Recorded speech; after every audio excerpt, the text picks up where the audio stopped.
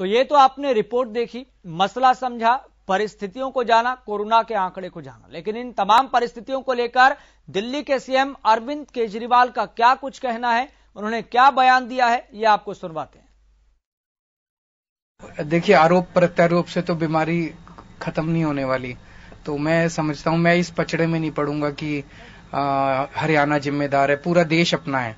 पूरे देश में कहीं भी कोरोना है तो कोरोना खत्म होना चाहिए। दिल्ली में कोरोना है तो ये कोई अच्छी बात नहीं है, हरियाणा में कोरोना ये कोई अच्छी बात नहीं है। तो ये आरोप, प्रत्यारोप अच्छी बात नहीं है।